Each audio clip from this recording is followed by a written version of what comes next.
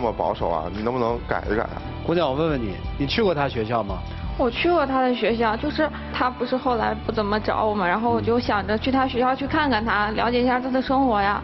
然后我去他的学校跟他说了，然后他接了我之后，他自己就一个人在前面特别快、特别快的走着，我只能一个人在后面小跑的跟着他。就是路上碰见了他的朋友之类的，他也是只顾着跟他们说话，把我晾在一边，而且从来没有向过他朋友们介绍我是他的女朋友。我只是想把我事情都安排好了，我才去好好的陪陪他。而且到最后，我不是着急吗？到最后我都向他他向他介绍过了。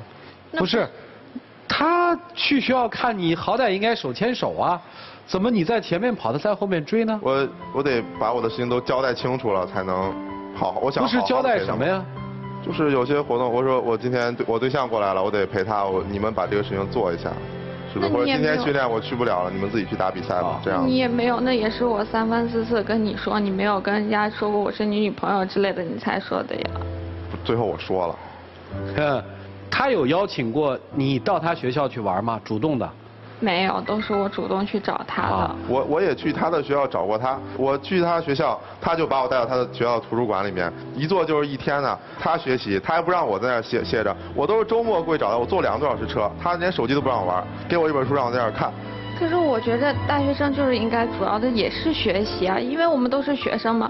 而且他不找我之后，后来我去学校找他，然后他就开始说我穿的不好看啊，穿的土啊，然后后来。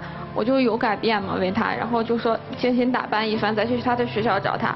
可是他怎么说的？他却说越打扮越土，以后再也不要去找他了。那次呢，是因为生气了，然后我跟你说的气话，我最后给你道歉了。再说，我说你打扮的土，我也是想激励一下你，让你打扮的更时尚一点。女为悦己者容嘛，是不是啊？你不能光学你课本的东西。你是觉得他现在有点土了，是吧？我那时候说的真是气话，我觉得他是一个内秀的人。现在提出分手。是，我觉得我们两个没有共同话题，像两个世界的人。